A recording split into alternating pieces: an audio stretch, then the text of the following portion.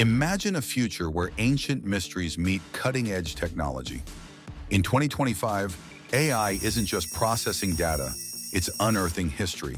From predicting dig locations to analyzing fragile finds, AI is revolutionizing the field. AI helps us piece together the past, preserving it for future generations. Consider the sheer volume of data from a single dig site. AI algorithms can process satellite imagery to identify potential sites buried underground, saving time and resources.